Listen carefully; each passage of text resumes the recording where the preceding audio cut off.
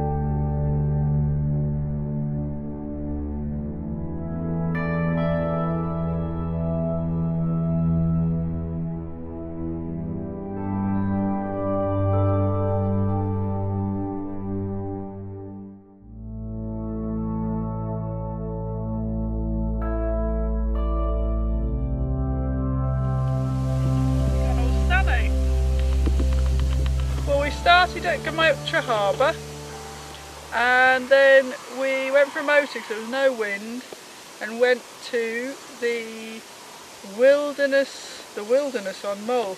She's just behind you on the in the picture. Yeah, yeah, beautiful.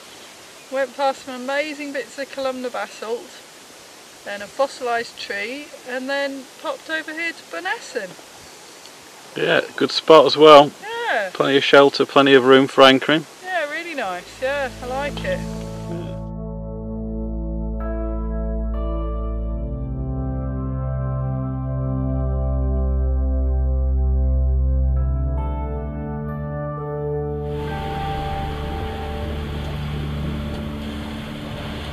Fifteen knots on the beam. What speed are we making? Doing about six. Yeah, it's uh, it's just ahead of the the wind, and uh, yeah, we're getting a bit of a bonus sail in. I didn't think we'd get anything in. There was no no wind at all on the other side of, uh, of the Firth. Awesome. So we're on our final sail of 2018. What's been your your your top few sails, your top three things of the season? Well, the top things that happened, rather than top sales, was getting me redundant. that was fabulous because that meant I had an extended sailing season. Uh, Um, but uh, that allowed us to go a little bit further afield in the knowledge that uh, we didn't necessarily have to get back to the home base, but we always did, as it turned out. Uh, I think it was Rum. We went there twice, but uh, both times were magical. But I think it was cycling over to the other side to the Bothy. What was that Bothy called? oh, the, well, the, the it's Kilmory Glen was where we went. Yeah, Kilmory Glen. I mean, we took the Bromptons, the folding bicycles, across to the other side, which I highly recommend. It was really nice weather, which is not always at Rum. What would be your next favourite?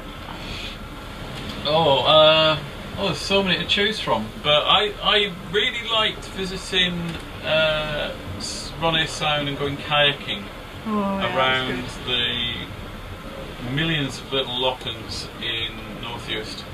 And going to that little Iron Age wheelhouse. Wheelhouse, yeah. Yeah, well, that was good. I mean, the weather wasn't fantastic, so it wasn't very photogenic, but if it had have been, it would have been amazing. Uh, but it was fine for kayaking. I think it's a mixture of familiar places and going back and doing more there, and going to new places. When, what new places stick in your mind? Uh, well, we did a, two different anchors, uh, or two different visits to Coll, uh, which we've never, we've sailed past many times, but we've never been because it's quite tricky to get the right conditions for it to be a pleasant place to anchor. Um, and yeah, both of those were nice in different ways. Um, and we've been, we didn't actually go ashore, we've been at the, the Gulf Alex. I'd like uh, more settled conditions so we can go ashore there next time. Uh, we went to some a new anchorage on the north end of Jura, uh, which was great. Kinoptra. Kinoptra. That was great. Mm. And then there were some familiar old favourites like Vatersay, but this time we went kayaking uh, around the, the south end of Vatersay. Um, it's always a magical place to go, but it was nice to see it from a different angle. Um, and then there's all the wildlife as well.